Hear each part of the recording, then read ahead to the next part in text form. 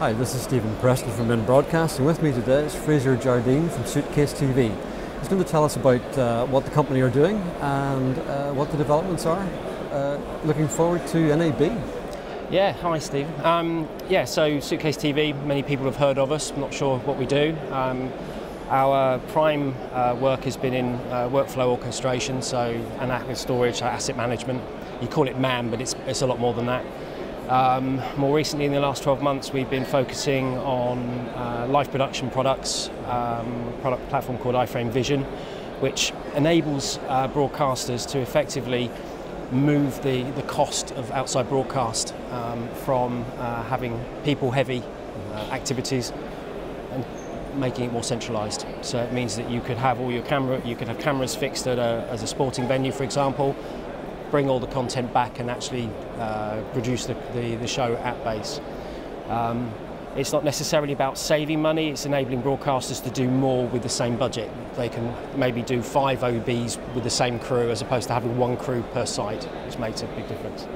Um, we're also uh, concentrating expanding our media store platform, uh, which people would have heard of before, um, uh, to provide effectively archive storage platform, which um, will reside in an existing storage network, um, uh, take control, understand where all the assets are, and then allow more complex workflows with, with existing um, uh, with existing infrastructure. So they're primarily what we're doing at the moment, and again, launching some more stuff at NAB. Okay. And uh, what are the challenges in this area? What's uh, certainly from from uh, mid, from a Middle East perspective, mm -hmm. um, I think that um, like everybody, we, you, you you want to uh, you want to you want to engage here. Oil price has a big issue on budgets. Um, one of the good things, and certainly moving into the IP world, um, where there is uh, investment in new infrastructure, new buildings, they're going IP.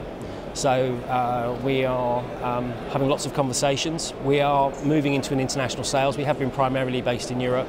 Um, and uh, we are now uh, engaging with partners to, to, to work in this region and Asia Pacific as well. And going forward, is there any products we can talk about for the future? Or? So we're going to expand the iFrame Vision for live production because I think that's a really hot topic at the moment. You know, we, we already heard about the Olympics not having enough hotels and things like that. Uh, we have, uh, we actually won an IABM Innovation Award for acquisition and production at IBC and we had the great pleasure of actually delivering it in October afterwards. So not often you hear that somebody wins an award and actually they deliver it afterwards and that was a project with um, ITN for the Tory and Labour Party conferences in the UK. Um, that went really, really well, and we're expanding those, those, uh, that architecture to actually launch for, for, uh, for the future. And obviously that opens new markets. North America would be huge for this potential, potentially, so we're quite excited. Okay. Fraser, thank you very much for coming by today. Sure, thank you. This is Steven Preston for In Broadcast.